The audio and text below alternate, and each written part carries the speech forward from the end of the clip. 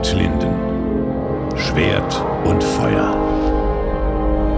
Sie haben eine große Mission. Und sie haben mächtige Feinde.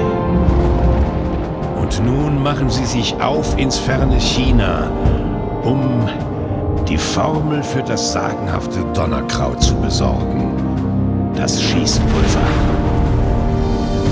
Er, der gewöhnt das ruhige Leben, der Stolz und Freund des Weines, nur wenig Ungemach erleidet in der Stadt, wird glauben kaum, wie ich, ermattet, die Meereswege machen muss zu meinem Heim.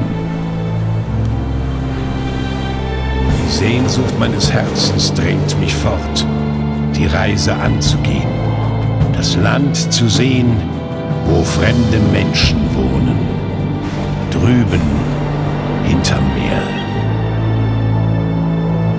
Robert Linden, Schwert und Feuer.